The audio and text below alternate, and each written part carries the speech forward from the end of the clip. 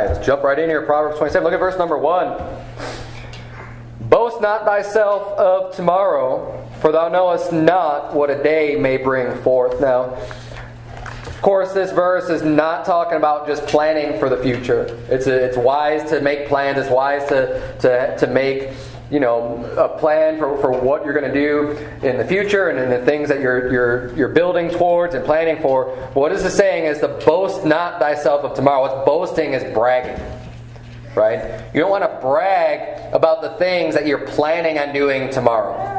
Right? You can't be bragging about things in the future, things that you haven't even done yet. The Bible's saying you don't know what a day may bring forth. There's uncertainty in the future. It's okay to make the plans. It's good to, to, to have goals and to set forward and, and to go towards a plan of action. But, I mean, the thing is with your goals, you need to be able to, to alter and change those when necessary because things come up in our life. You don't know what tomorrow is going to bring. Now, turn, if you would, here, keep your finger in Proverbs 27. Turn, if you would, to James chapter 4. James chapter 4 is, is basically teaches the same exact uh, proverb that we're, that we're learning here in verse number 1.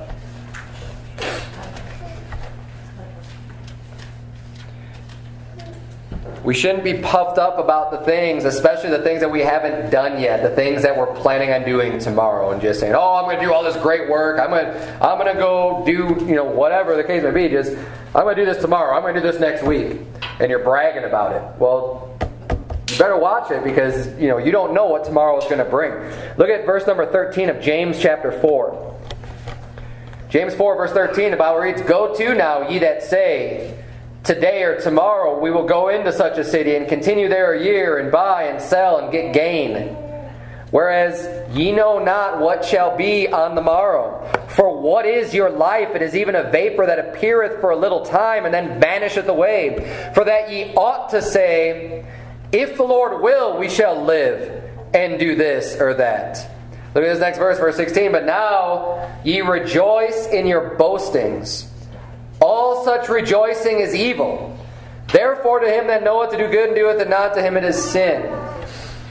You can rejoice in the things that you've done, but don't go rejoicing and, and bragging about the things you haven't done yet. He's saying, you know, the people say, and it's not even necessarily something spiritual. He's saying, you know, today or tomorrow we're going to go into a city, we're going to go over here, we're going to you know, continue there for a year. We're going to buy and sell. We're going to make a lot of profit. We're going to, you know, we're going to build this great business and we're going to make all this money. We're going to go over here and do all this stuff. And you're kind of bragging about all the stuff that you're going to do that you haven't done yet. The Bible's saying, you know what? You don't even know what tomorrow's going to bring. Your life is like a vapor. You could be dead tomorrow. And all these great plans, all these things that you're that you're bragging about now, to everybody else, to all your friends, of saying saying how much money you're going to make or whatever the case may be. It, you know, it doesn't have to be a worldly thing. It could be anything. You know, I'm not even going to boast myself of, of the, the soul winning that I'm going to do in, in a week from now or whatever. I'm not going to brag on, on the things that have not been done yet. They haven't been accomplished because you don't know what a day is going to bring. You don't know what tomorrow is going to be. And the Bible says that you rejoice in your boastings you're basically feeling glad and, and, you're, and, you're, and, and you're bragging about the things you're going to do. And the Bible says that all such rejoicing is evil. So we need to keep ourselves in check and keep ourselves humble. That's why he says, you know, if the Lord will. If God wants it to happen, then we're going to go and we're going to do this or that. And having that say, that right type of an attitude, have that right type of a mindset of, hey, this is what I'm planning to do it, and Lord willing, we're going to do this. Right? If it's God's will, then we're going to do this. But I don't know what tomorrow is going to bring. This is our plans. This is what we're working for. And that keeps you humble when you're saying, you know what, if, if, if, it's in God's will for me to do this stuff, then we're going to do this. But if not, then I'm going to be doing something else. And that, that will help prevent you from bragging about the things you haven't even done yet, you haven't accomplished yet. We need to, to not get so um, you know, people have a tendency to get focused on these things that they haven't even done. Oh man, I'm going to do all this. Just wait. As soon as I get this out of the way, as soon as I get that out of the way, then I'm really going to live for God. Then I'm really going to, you know, turn it on. I'm going to do all this great stuff. And oftentimes, more often than not, when people kind of talk like that, they get whatever done out of the way and then they're still not doing anything. They say, "Well, I just need to get this work done. I need to get that done, and then I'm then I'm going to be I'm going to have all this free time. I'm going to be going out soul winning every day, man. It's going to be great." And you boast about it, you're bragging about it, telling everyone how awesome it's going to be, and then you don't go do it. And, and we need to, to make sure that we can keep ourselves in check and not, and not just start boasting about those things. Again, have a plan, but have this, the right attitude of, hey, if God, Lord willing, this is what I'm going to be doing. This is what I'm planning on doing, and Lord willing, it'll happen. And what's interesting is that last verse there in, in James 4, verse 17 says, Therefore, to him that knoweth to do good and doeth it not, to him it is sin. And this is a sin that's not often talked about very often. Typically, when we think about sins, we think about the things that we, that we do that we're not supposed to do. Right? I mean, the, the stealing, the lying, whatever, you know, all these various things that we're not supposed to do. Oh, yeah, I commit a sin. The Bible's saying when you know it's right to do something, when you know you're supposed to be doing good, when you know you're supposed to be loving your neighbor as when you know you're supposed to be preaching the gospel, when you know you're supposed to be praying, when you know you're supposed to be reading your Bible, when you know you're supposed to be doing these things, whatever the case may be, and you don't do it, that's a sin. And like I mentioned, you know, oftentimes people will say, "Oh, I'm going to do this or that that's really good," and they're kind of bragging about before they ever even do it. He's saying you need to worry about what you're doing right now. You need to just make sure that the things you're supposed to be doing today, you're doing those today and not be so caught up in what's going to happen tomorrow. You don't know what's going to happen tomorrow. I don't know what's going to happen tomorrow. Let's serve God today and rejoice in the things that we've done. And continue to move forward. Let's strive to, to, to increase. Let's strive to do more. We're not going to brag about it. We're just going to keep on doing what we're supposed to be doing today. And when we know we're supposed to do good and we don't do it, you know, that, that's a sin. Let's go back, if we would, to Proverbs 27. We got a lot more to cover here. I just wanted to point out because James 4 really goes a little bit more in depth on this concept of not knowing what tomorrow is going to bring and not to, not to boast ourselves of tomorrow. But let's go back to Proverbs 27, look at verse number 2. The Bible says, Let another man praise thee, and not thine own mouth, a stranger, and not thine own lips. And I'm not going to go into detail very much. I brought this up last week. This, this goes to, to point what I was made last week, where Jesus talked about this. You know, you, you receive praise from other people, not from yourself. You know, there's no honor in you telling everybody how great you are. There's no honor in that. I mean, no, you know, people are just going to think that you're conceited. People are just going to think that you're full of yourself when you just go around telling everyone how great you are. Just like all the presidential elections in my lifetime has ever been, you know, you got the candidate saying, vote for me, I'm so great, I'm going to do this and I'm going to do that, and I'm awesome, and I've done all this, and, you know, and just, just kind of boasting of themselves instead of, hey, let someone else praise you. Let someone else say, this person is great. This person does all this work. This person is someone that, that we should have as a leader. This is someone, you know, that's when you really get the honor. That's when you really get the respect. When you have other people saying, this is a good person. This is a good man. That's when you truly get the right praise. Uh, jump down real quick to verse number 21. It kind of goes hand in hand with this. It says, As the fining pot for silver and the furnace for gold, so is a man to his praise.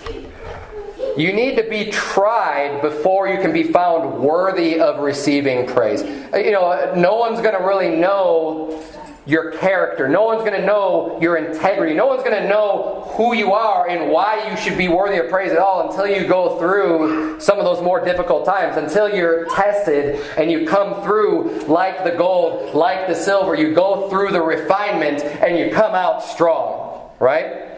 Uh, Job is a great example of this. He went through the trials, he went through losing everything, and he remained faithful to the Lord. And, and when he was tried and tested and came through, then he was really worthy of praise. And I'm not saying he wasn't worthy of praise before. I'm sure he did a lot of great things. The Bible records he was you know, the greatest man upon the earth. But after being tried and tested through that, then everybody can attest yes, this, you know, this person's worthy of our praise. They've been through a lot, they stuck with it, they have integrity, and that's when you receive that praise. And that's when you can expect to receive something like that. But it's not something that you bring upon yourself and tell everyone else how great you are. Let's keep going here. Verse number I covered that subject in depth on Sunday and on Wednesday. Verse number three. A stone is heavy and the sand weighty, but a fool's wrath is heavier than them both. Wrath is cruel, and anger is outrageous, but who is able to stand before envy? So we have a progression here. It's, it's likening, you know, a stone is real heavy, sand. You ever try to lift sandbags? Sand's real heavy. but a fool's wrath is heavier than them both. And then it goes from the, the wrath, it says wrath is cruel and anger is outrageous. Obviously, you don't want to be on the end, the receiving end of somebody's wrath or somebody's anger, right? It says, but then it goes beyond that, but who is able to stand before envy? Envy is a sin. Envy is something that, that is downplayed in our culture today, in our society. Envy, what is envy? Is when you want something that doesn't belong to you. When you when you're covetous. That's, that's another word for envy, is when you really want something else. Something that belongs to someone else. You want it. The Bible says that's even worse than the wrath and the anger. Right? Most people would say, I don't want to be on the receiving end of wrath and anger. But you really don't want to be on the receiving end of someone's envy, when someone envies something that you have, because that goes, there's more motivation to do evil than even just someone being angry or wrathful in a moment. And uh, turn, if you would, real quick to Matthew 27. Keep your finger in Proverbs 27. Look at Matthew 27. Because this is exactly the position that Jesus found himself in. Jesus was on the receiving end of people who envied him.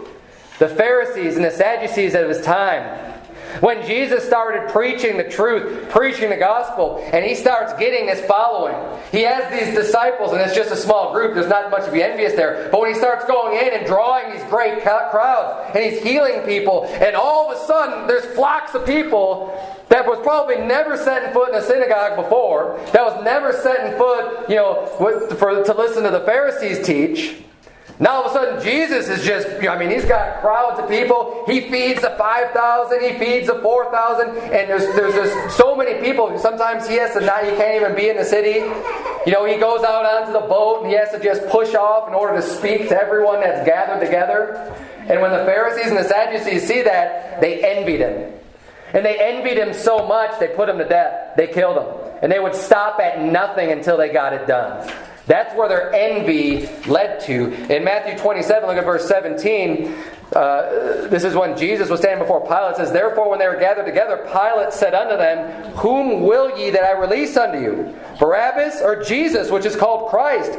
For he knew that for envy they had delivered him. He knew. He knew the reason why Jesus was. He knew that Jesus didn't do anything wrong. And he kept on trying to get him off because he's saying, This guy, he's a just man. He didn't do anything. And he knew the real reason, regardless of whatever they're trying to accuse him of. He's like, I know it's for envy. So he's giving him another opportunity to free him. Now, of course, Pilate doesn't have integrity. He didn't do what's right. He listened to the masses. He listened to the mob when they said, Crucify him, crucify him. Right? Let him blood be upon us and upon our children. Pilate did it.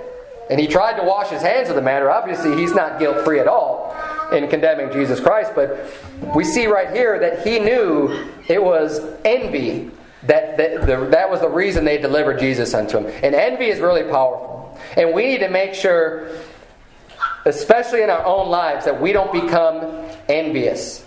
Becoming envious is going to lead you into all kinds of sins. When you want things that you can't have, that you don't, you know, that you don't have, whether it be whether it be expensive things you just don't have the money for, and you're coveting something that you that you want in that aspect, or whether it be people, or you know, like a, a, another a different husband or a different wife, or someone you know, someone else's spouse, whatever it is, whatever the reason is why you can't have something. Watch out for the envy because it is dangerous. The Bible says that the love of money is the root of all evil. The root. The love of money. What's the love of money? It's greediness. It's, it's desiring to just have more and more and more and just being envious of money. That is the root. According to the Bible, look, I believe the Bible is true 100%. That is the root of all evil. The source. The source of all evil. What's evil? When people are doing harm to somebody else. When you break it down and you go all the way back to the source, it boils down to envy, covetousness, greed. It's that love of money, the things that you don't want. That's what it boils down to. You say, I don't understand that. It doesn't make sense. When people have that in their heart, that love of money, it, well, look at, look at Proverbs uh, 27. Look at verse number 20. This, this will help explain that a little bit. Go back to Proverbs 27. Look at verse number 20. The Bible reads, Hell and destruction are never full So the eyes of man are never satisfied. When people become envious and have that love of money in their heart, their eyes are never satisfied. They always want more. That, that void is never going to be filled. They're going to be driven to do more and more and more, and they'll do whatever it takes to get it. It's like an addiction. It's like an addict that gets addicted to drugs that just all they could focus on is the drug, and whatever it takes to do, they're going to do it. They're going to rob, they're going to steal. They'll hurt other people to get what they want. It's a real similar, but the love of money and that envy does the same exact thing. People get, get wrapped up into that. I mean, the Bible says you cannot serve God and mammon, and mammon is money. For either you love the one and hate the other, or you despise the one and cleave to the other. You can't do both. We're not supposed to love money. Loving money is the, is the root of all evil, like I said. And that's in 1 Timothy chapter 6. You read that whole chapter. Watch out for the sin of envy. Uh, let's keep reading. Let's go back up to verse number 5. We're going to see the importance of having good friends. And we ought to be careful who our friends are and make sure we're choosing out right friends, godly friends, good friends to have around us. Look at verse number 5. The Bible reads Open rebuke is better than secret love. Faithful are the wounds of a friend, but the kisses of an enemy are deceitful. Think about it would be pretty nice if you found out that someone someone in this church really cares about you. Right? They love you, they care about you, but Maybe you don't know it because they never say anything, they never really do anything. It's a secret love, right? They, but, but they just earnestly, they care about you. That would be nice. But you know what's even better than that, according to the Bible? Open rebuke. Open rebuke. Someone telling you that you're wrong. Just openly, just confronting you and saying, you know what, brother, you know what, sister, I, you, I think you're wrong in this area. I think you need, you know, you're, you're in sin. You know, whatever the reason is why there's a rebuke that, that has become necessary to, to let that person know, that is way better than just someone who secretly cares for you. Because honestly, that, that open rebuke is really open love. And we need to understand that as such. We need to understand if someone is, is, is, has gotten to the point to feel like you need a correction,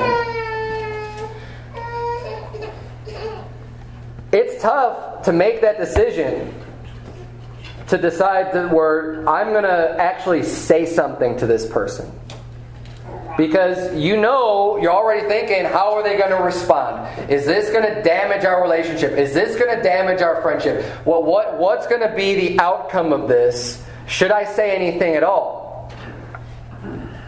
But when someone makes a decision to say, no, this is important, I think they need to hear this rebuke. It's because they care about you. It's not because they hate you. I mean, 99 times out of 10, I don't know. I mean, you, there, you may have some jerk that's just full of themselves and think they just need to tell everybody why they're wrong. That's not what we're talking about here. We're talking about someone that cares about you enough to tell you, hey, you're you're having an you're an error and and and you're wrong about this, and this is why. And that's why you approach people humbly and meekly. You know, you're not just trying to to to come at them as if like you know everything or whatever. But when you love someone and when someone loves you, they'll rebuke you. I mean, when when needed, right? When there's a, when there's a reason to have a rebuke, and we ought to appreciate that. If you have wisdom, you'll appreciate that. You'll be able to appreciate um, being able to hear those things. Uh, I'm not going to go into very much detail, but my wife experienced that. She had a friend that, that was called her out on some things that, that they thought that she was in error of. And it stung and it hurt, but later we could you, she could look back on it and be appreciative that her friend was willing to potentially ruin their friendship because of this area where she felt she needed a rebuking. And, um, and, even regardless of if what she was doing was wrong and needed a rebuke, knowing the heart and knowing that, hey, this is someone who's, who's willing to, to lay it out there to help me, to, to, to help me correct my error. That's a big deal. And that is, that is uh, it's great to have friends like that. And if you have a friend like that, it's you know you may your first instinct might be to get mad, and I understand that because uh, no one wants to be told that they're wrong, but you ought to love that person because they, they honestly will care about you. Open rebuke is better than secret love. And that's why the Bible says in verse 6 faithful are the wounds of a friend. Being wounded, right? It hurts a little, it stings. Man, no one wants to be told they're wrong. You get that rebuke. That's faithful. Your friend is being faithful and true to you, but the kisses of an enemy are deceitful, right? You can have people telling you all the nice things all day long. It doesn't mean that they care about you. It doesn't mean that you're a friend.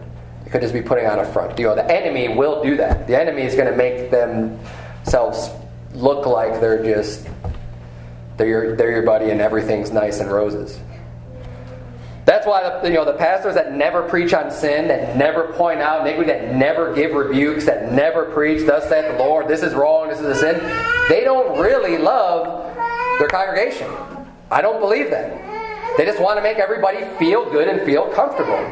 And when rebuke's necessary, look, it's way better to have open rebuke than secret love. And the kisses of an enemy are deceitful. I'd be watching out and making sure that, that they're not my you know that, that they're not an enemy for not uh, not bringing up things that, that I that I would know I need to hear. But uh, let's keep going here. That's that's you know that's one aspect of having a good friend, someone that's that's willing to give you a rebuke when it's necessary. Verse number nine, jump down to verse number nine. Ointment and perfume rejoice the heart, so doth the sweetness of a man's friend by hearty counsel. A Good friends gonna be able to give you good advice, good counsel that we ought to be able to take to heart. Verse number ten. Thine own friend and thy father's friend forsake not.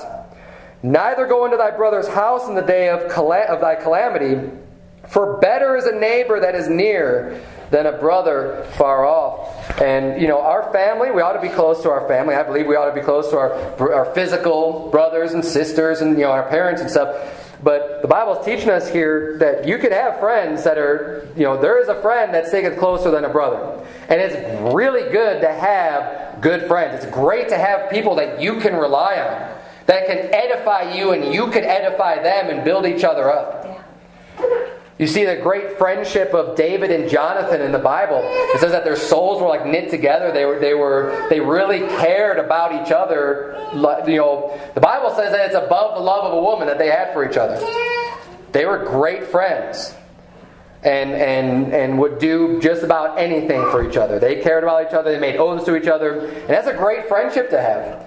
Because then when one of them is getting in trouble, the other one's there to help them out. And we all need help from time to time.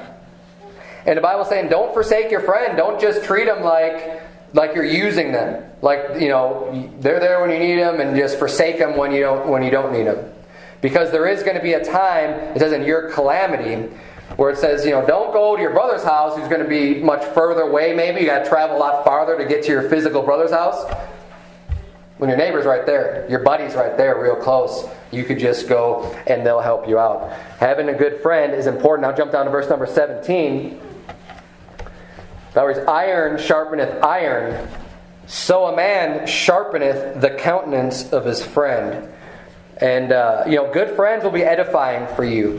Finding someone who's who's who's got that same, you know, you're both iron, you're both you're you're both uh, um, have this similar beliefs, or you know, you're both Christians, for example. That would be a, a, great example of having iron. You're both you both love God, you want to serve Him, and that's how you're going to help each other to improve. You're going to uh, sharpen. But it says here, the sharpen the count the countenance, right? Your countenance is your face and and your friend's going to help you, especially you know in your times of trouble, your times of need, lift up your spirits and to lift you up and build you up with whatever help that you need. And that's what a good friend will do for you. So you want to surround yourself with people, one who love God, that that gain this wisdom from the Bible, who know what it's like to be a good friend. You want to surround yourself by people who who have this understanding and will be a good friend to you, but you also want to make sure that you are that good friend to them. So, whoever your friends are today, you want to make sure that, that you can be there for them and that you are willing to, to help them out and, and um, be able to lift them up and, and help them in their time of need. It's important to be a good friend, especially if you want to have good friends. And I think everyone should, should want to have good friends. So, we need to, to start off by, by doing that for others. And it's, it's interesting how it plays off of each other, too. When you go above and beyond, kind of out of your way to do things for friends, it means a lot to them. And oftentimes, people, when, when you receive that love, when you receive that, that extra effort, you almost feel like, wow, I haven't done anything for them in a while, and you kind of reciprocate back and forth, and it just helps to, to build your friendship overall. It's a, it's a good. Um, good, you know, good friends. I can't say enough about. The Bible talks a lot about making sure you have good friends. Uh, let's keep going on here. Verse number seven. Let's go back up to verse number seven. the Bible says, "The full soul loatheth in honeycomb." Loatheth means you hate it. The full soul loatheth in honeycomb, but to the hungry soul every bitter thing is sweet. Now I know I've been there before. We go out to eat, you go out to a nice restaurant, and you just you just have all this this huge meal, right? They serve you all this food. You get an appetizer, you got the main dish, and by the time you're done eating, you're like, oh man, you're gonna have to roll me out of here because I've just I've just so I'm full. I cannot fit another thing in me. And then they come and say, hey, would you like to have dessert? And you're like, no, I can't fit anything more in my body. And that's what it's like. You know normally if you if you didn't just have that whole meal and someone offered you this nice you know sugary chocolatey snack. Oh man that looks great. Yeah i'd love to have that. But when you're full when you're just completely stuffed you loathe it. You're like i hate that. I don't want it. Get it away from me. Don't even put it in front of my face because i'm just way too full. This is what the bible's describing here. But when you're hungry and man, when you're hungry, you don't eat for a couple days, or you don't eat for a day, or whatever. You go a long time, and your stomach's just you know growling, and you you you want some food. You get a cracker, you get just a little bit of something. like, man, that it, just ta- your, your your taste buds have, have heightened. You know, your senses are just you know it's the best food that you ever have is when you're really, really, really hungry, and then you get something to satisfy the hunger. It tastes sweet, it tastes great. Where normally you might not even like it that much right? But you get that food when you're really hungry. And I think it's a very good thing to be hungry. I think it's good to keep ourselves hungry. It's going to keep us humble. And I'm not just talking about physical food here. I'm talking about being hungry in many areas of our life, not feeling where we've just we've stuffed ourselves. I've gotten to the point to where you know, I, I, everything is going well for me. And I think it's important too, or I think it's better. I don't say important. I think it's better that like for example in my family that we don't have like just tons of money we're not just completely financially set and just everything is going great for us i think it's good to be a little bit hungry because i think it keeps us a little bit more appreciative of the things that we actually have and I think that's another reason why it's important. You know, God says not to, you know, seek after the riches of this world. Your Bible says, "Seek ye not um, the riches of this world." It says, "Seek ye first the kingdom of God and His righteousness, and all these things shall be added unto you." We need to be focused on what's important. And if we struggle a little bit financially, that's fine because it's just going to make you appreciate all the blessings that God has given you in your life already. Turn, if you would, to Matthew chapter 5. And we'll see a little bit more into this great truth of how blessed it truly is to be hungry. When you're blessed, every bitter thing is sweet. When you don't have much, you appreciate every little thing that comes your way. And I don't know about you, but I want to be appreciative. I want to thank God for all the good things that He's done in my life and not just say, Who is the Lord? Not be so full of just of everything in life and say, Well, God hasn't done anything for me. I did all this myself. And start having the bad attitude. And start thinking I don't need anything. And start thinking I don't need to rely on God. I don't need to have faith in God. I'm just to, you know, I'm good. Because that's what happens to the full soul.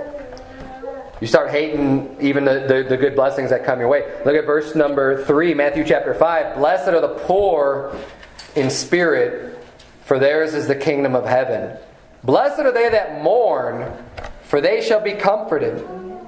Blessed are the meek, for they shall inherit the earth. Blessed are they which do hunger and thirst after righteousness, for they shall be filled. Blessed are the merciful, for they shall obtain mercy. Blessed are the pure in heart, for they shall see God. Blessed are the peacemakers, for they shall be called the children of God. Blessed are they which are persecuted for righteousness' sake, for theirs is the kingdom of heaven. Blessed are ye when men shall revile you and persecute you, and shall say all manner of evil against you falsely for my sake. Rejoice and be exceeding glad, for great is your reward in heaven. For so persecuted they the prophets which were before you. Many of these things that are mentioned here of being a blessing are very uncomfortable. It's uncomfortable to be hungry It's uncomfortable when people are persecuting you and coming after you. It's uncomfortable to be poor. It's uncomfortable to mourn. These are not areas where you're feeling just like everything's going great, but God's saying, hey, you're blessed. This is actually a good position to be in because it's going to get better for you. You're going to receive. You're going to get to, to get better, and you're going to uh, acknowledge everything that's been done for you. We need to make sure we don't get so. Go back if you to Proverbs chapter 27. We don't want to get too focused on the things of this world and our comforts here. Because once you, even if you achieve that, you focus on that and you achieve that, you're not going to have a very good attitude because you're just going to loathe, you're going to loathe everything. I mean, who wants to hate everything? You know, who wants to hate the honeycomb? I think the honeycomb's great. I, I love eating honey. It's sweet. It's you know, but when you just have it every day and it's always available to you, you don't appreciate it all, and you start hating things. And, and uh, honestly, a lot of people that, that have a lot of money and just kind of have everything going for them end up being miserable people because they realize once you have everything, like it's all kind of it's all vanity, and it starts to come clear to you once you have everything that it's not all it's cracked up to be having all the riches and all the wealth and, and everything else, it's really not that fulfilling. And to start hating it all. It's better not to have stuff and enjoy the little things that you get. Enjoy that, that whatever it is that you, you work for and that little piece that you can have here that, uh, that's going to bring you some happiness and not get wrapped up in, um, in just everything that this world has offered. But let's go back to Proverbs 27 here. we got a few more topics to cover. Verse number 8 As a bird that wandereth from her nest, so is a man that wandereth from his place. Let's jump down to verse number 11. My son, be wise and make my heart glad, that I may answer him that reproacheth me. I probably should have you know, jumbled this in with the, with the, the receiving praise. But the way that we raise our children should be able to speak about who we are. And we want to make sure we invest a lot of time in how we raise our children. And that we, we treat them because they're very, very important on, on, on, how they're raised and should be a reflection of who we are. So when the Bible says, um, My son, be wise and make my heart glad, the parent always wants their children to be wise and to do what's right and, to have this knowledge and to have this wisdom to make the right choices. That you've done a good job of teaching and training them so that I can answer him that reproacheth me. So when someone wants to tell you why you're wrong for believing what you believe, you can point to your child and say, well, this is the fruit of that belief. This is what comes of, of believing this way or, you know, thinking this way. Here's a living example. You know, here's someone who, who does this. So, uh, a good example, I think, is when and I laugh because it's kind of funny now that my, my son is screaming back there. But he's one years old, okay? And they do that.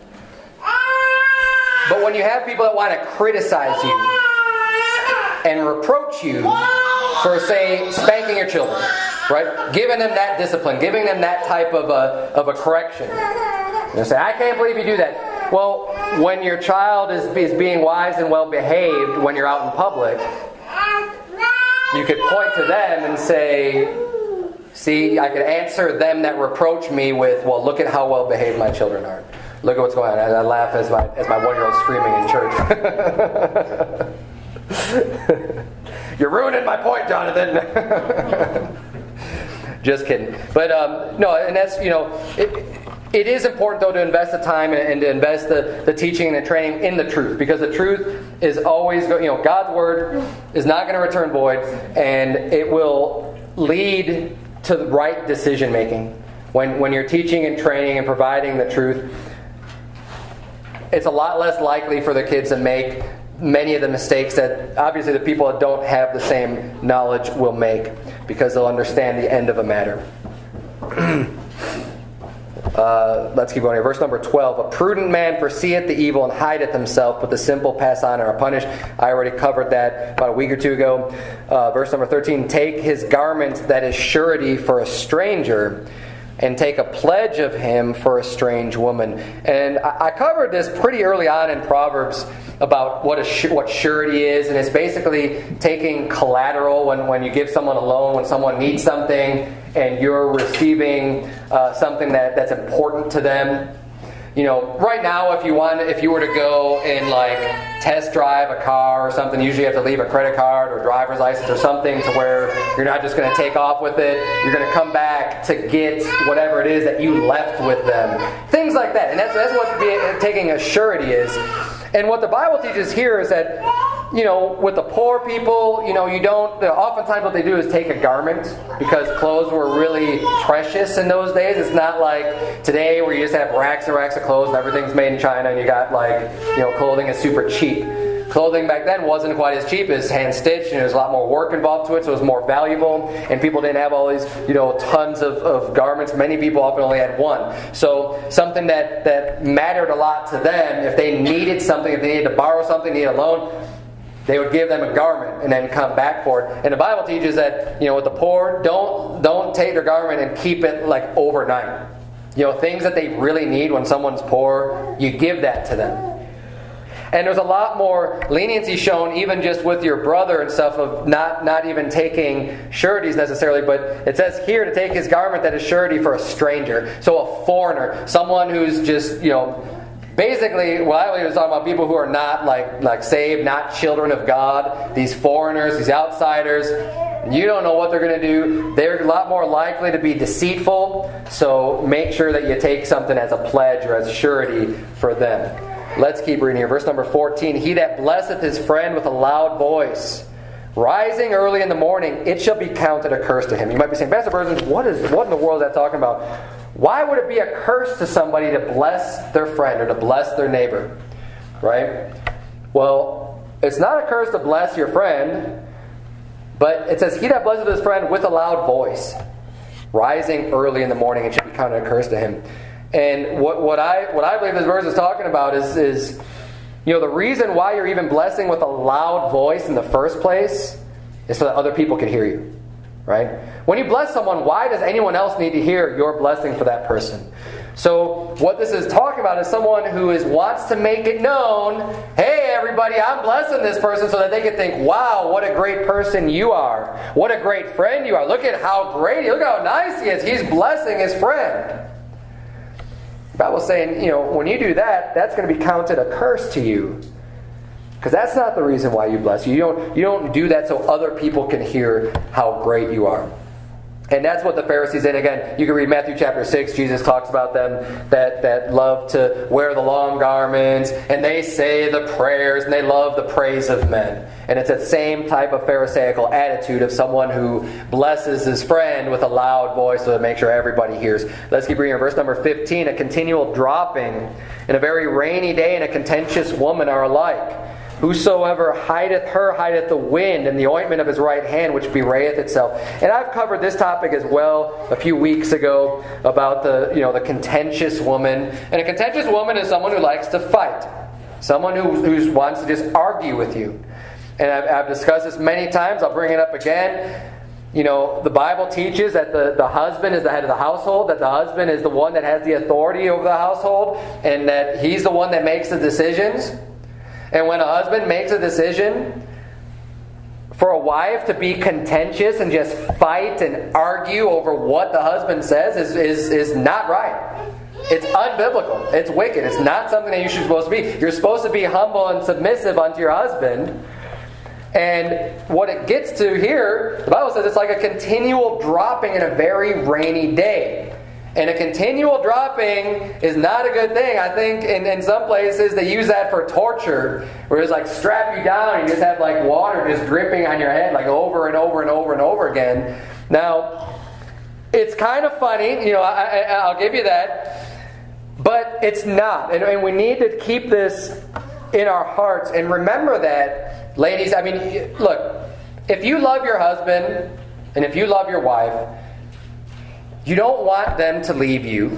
You don't want to leave them. And look, and, and if we're righteous, we're going to hold to our vows and say, I'm never going to leave or forsake my husband or forsake my wife. You know, I'm never. It's never going to happen. It's never an option because I made a vow and I, I made a vow to God. I made a vow to her. I love her. You know, I love him. I love her. I'm going to stay with them forever, and I'm going to keep that end of the bargain. But people get divorced, and things happen. And and ladies, I would just say, you know, if you're contentious, remember this is like a continual dropping.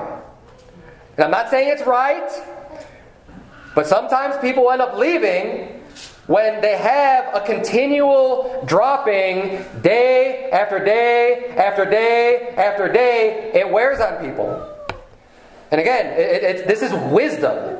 Okay, we want to have wisdom. I'm not. I'm, it's no justification for anybody severing or divorcing their spouse. But this is reality. This is what happens, and we need to remember that. You, you, you know, you don't want to be that continual dropping. You don't want to just be contentious and fighting every step of the way. Let's keep going here. Verse number 18. Proverbs 27 18. Whoso keepeth the fig tree shall eat the fruit thereof, so he that waiteth on his master shall be honored. There is a blessing. There is, you will be recompensed for the work that you do. Keep your finger here, turn if you would to Colossians chapter number 3. So it says here, if you keep the fig tree, you're, the, you're watering it, you're managing it, you're helping cultivate it, and you're getting it to grow, you're going to eat the fruit thereof. And you ought to. That's what, that's what you deserve. You're, you're doing all the work for it. You deserve at least to partake in the fruits of your labor. Just like the Bible says, you know, not to, to muzzle the ox that treadeth the corn. Right? The ox is doing all this work and it's treading out the corn. It ought to get a little bit of that corn. It ought to be able to, to partake in what it's actually doing and receive some of the benefit of the work that it's doing. And the Bible says, So he that waiteth on his master shall be honored. Waiteth meaning like, you know, like serving him right? You're, you're, you're like, you're like a, a, server waits tables at a restaurant. They're waiting on you, they're serving you. So when you wait on your master, your boss, you'll be honored. And if they don't honor you, if they don't recompense you, if they're a wicked master or a wicked boss, God will make sure it, it's that it's right. God will make sure that you get recompensed. Colossians 3, verse 22, the Bible reads, Servants, obey in all things your masters according to the flesh.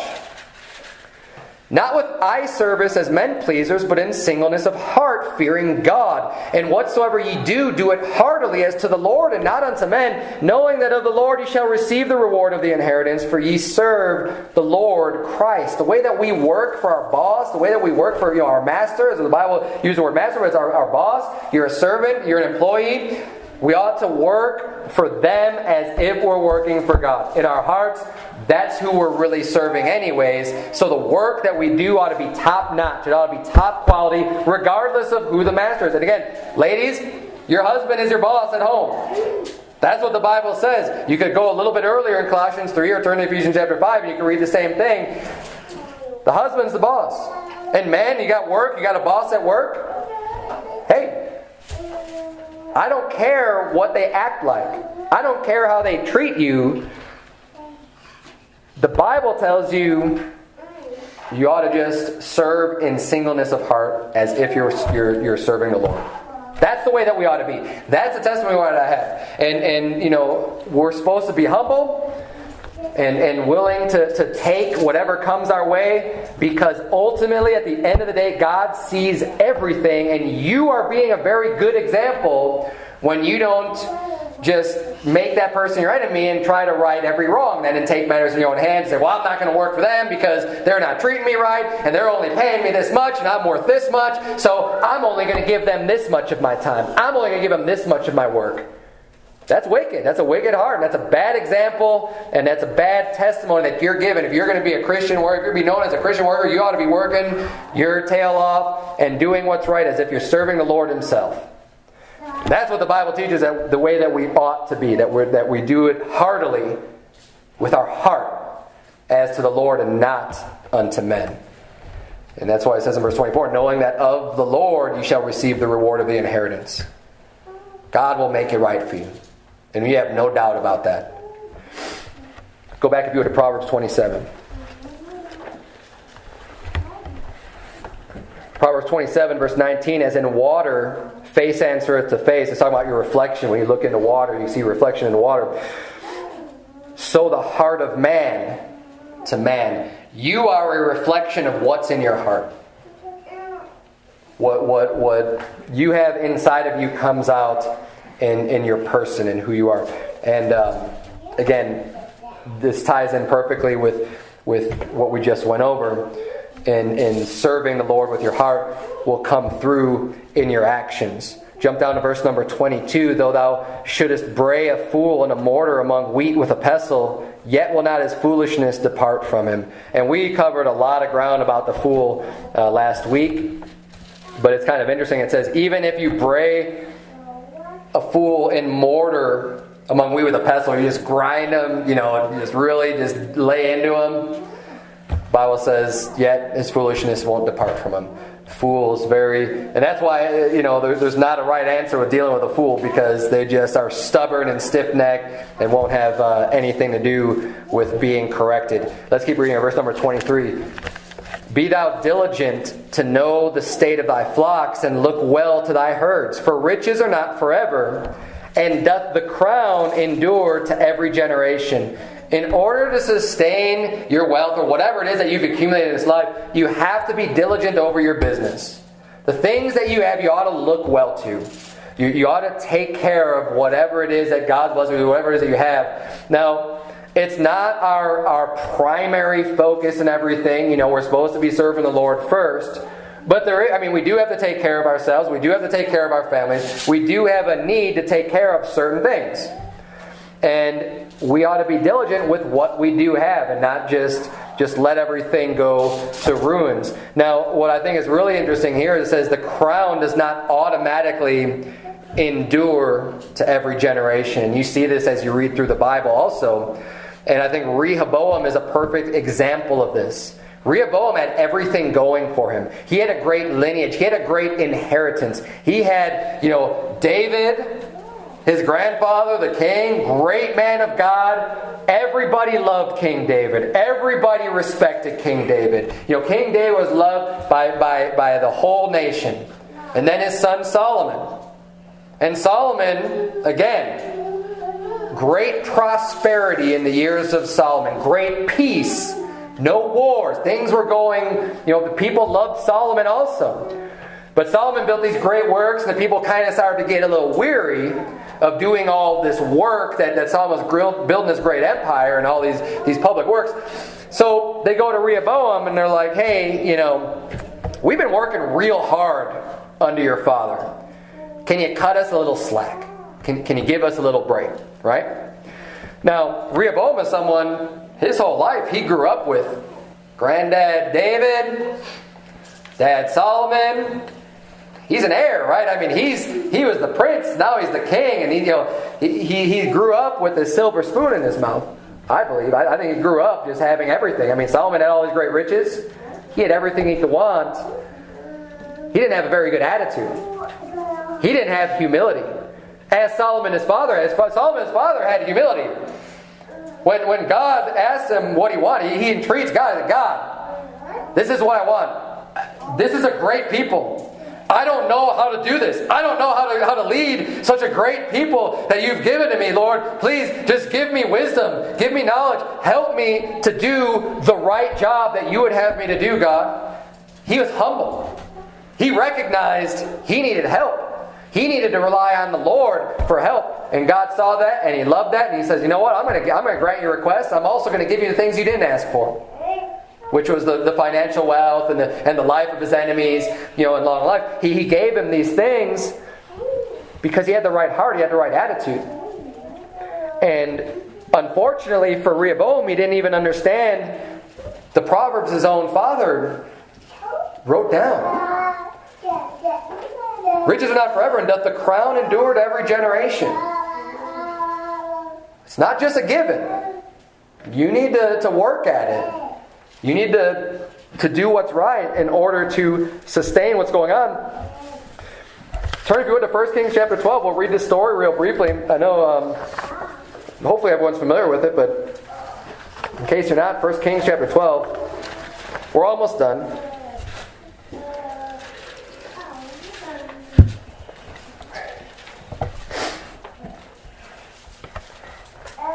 1 Kings chapter 12, we're starting reading verse number 3.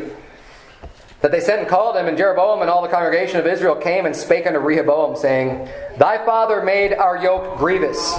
Now therefore make thou the grievous service of thy father and his heavy yoke, which he put upon us, lighter, and we will serve thee. They're making a deal him. Look, we'll serve you, we'll love you, you know, you're the king, we'll do what you want, but please just take it a little bit easy on us. You know, we, we've been working and toiling really hard for your dad. Verse number 5 And he said unto them, Depart yet for three days, then come again to me. And the people departed, and King Rehoboam consulted with the old men that stood before Solomon his father while he yet, while he yet lived, and said, How do ye advise that I may answer this people? And they spake unto him, saying, If thou wilt be a servant unto this people this day, and wilt serve them, and answer them, and speak good words to them, then they will be thy servants forever. He's saying, if you look well to what you're doing now, if you can give them this, Give them what they're asking for. Be humble. Be a servant and show them that you are serving them and you're hearing them.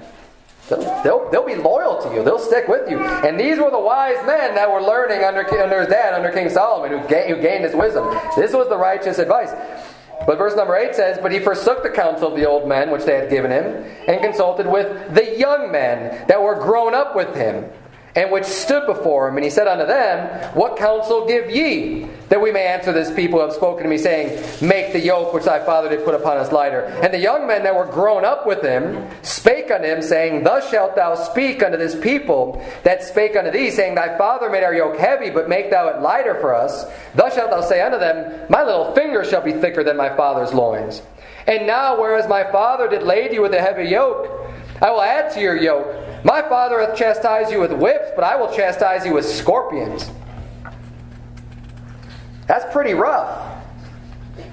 And this is coming from the spoiled brats that had everything. That was his young men that all grew up in the same uh, in the same group, the same rule, you know, the same wealthy people in his father's house. They had everything handed to them. They say, "Oh, well, I could be. You think my dad was tough? Well, I could be tough."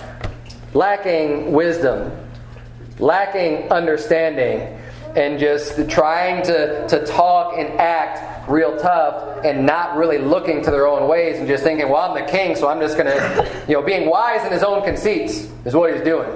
Because I'm the king, I'm just going to tell you, you thought you had it bad before, but you better watch out for me. I'm going to be a lot tougher than my dad was. And you know what happens?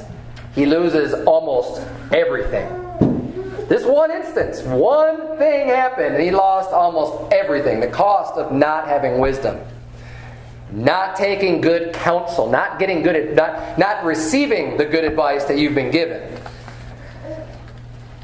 Take this to heart too. When someone, when when you you know someone that's able to give good advice, that you could trust, that you think you know that that, that you trust has, has got a good lot of godly wisdom and they tell you something, you decide just to. And, and look, I'm not saying you just, you just have to listen to everything everybody ever, you know, someone ever says to you, but but forsaking good advice and good wisdom can come at a big cost, and uh, and really treat it properly. So the king answers, "I'm here," and and I'm just going to skip ahead. Because he answers them exactly the same way. Verse number 16. So when all Israel saw that the king hearkened not unto them, the people answered the king, saying, What portion have we in David?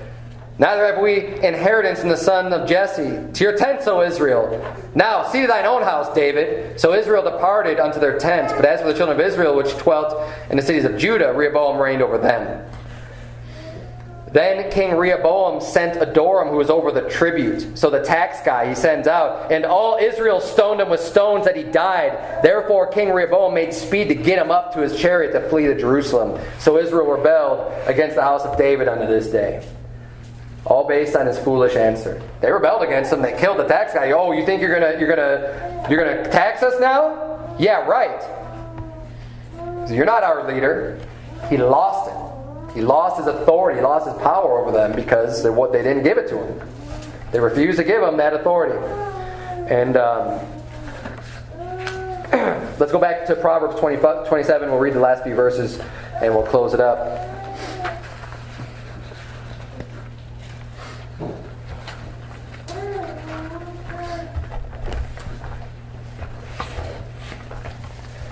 Verse number 25 The hay appeareth in the tender grass, showeth itself and herbs of the mountains are gathered. The lambs are for thy clothing, and the goats are the price of the field. And thou shalt have goat's milk enough for thy food, for the food of thy household, and for the maintenance for thy maidens.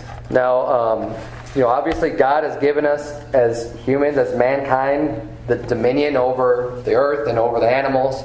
And that's why I think, uh, you know, these extreme I call them leftists or whatever, the people who are who are really into the environment and really into the animals and like the, the, the vegan type that just think it's it's horrible for you to eat eggs and to, to do you know let alone eat meat. I mean, you know, these people don't have their heads screwed on straight. The Bible tells us specifically, I mean, God's given us the animals of this earth to eat. And the vegetables and the tree, you know, and you know, he's given all this. We have dominion over it, and we have right to do what we want, basically, with, with, with all these other beasts and and uh, this, you know, the, the trees and the, the agriculture and everything that God has given unto us. We have dominion over it. Now, obviously, we should be wise with it. We should be smart and not and not just you know go around just slaughtering a bunch of animals for no reason or whatever. But um, God's given us this stuff. He says the lambs are for thy clothing, right? We ought to shave them and get the wool and get the, you know, and be able to, to spin it and use that for clothing. The goats are the price of thy field. And it says, and thou shalt have goat's milk enough for thy food. I've heard, I've even heard Christians saying how weird it is that you drink milk from an animal, and that's why, you know, it's understandable for, for a baby to drink their mom's breast milk because that's still a person, but when you're drinking an animal's milk, that's bizarre, that's weird. There's nothing weird about it. The Bible says that, that the goat's milk is going to provide for you and for your household. I mean, that's, that's what it's there for. We are to consume this stuff. There's nothing wrong with consuming the milk of goats or cows or, you know, these animals to, to sustain us and get nutrition. There's absolutely nothing wrong with it. It's good and, and it's given to us by God. That's it for Proverbs 27. Let's bow our have a word of prayer. Dear Heavenly Father, Lord, we thank you so much for the great wisdom that we've been learning throughout through every week of going through the book of Proverbs. God, I pray that you please help some of the things. I know tonight we touched on a lot of different topics, dear Lord, and um, but th- those things that are important to each individual, dear Lord, whatever whatever people needed to hear tonight, dear God, I pray that you please help us all to walk away with some greater truth and understanding that'll help us in our life, dear Lord, that'll help us in our understanding and in our doctrine, that we can um, continue to grow closer to you. In Jesus' name, we pray. Amen.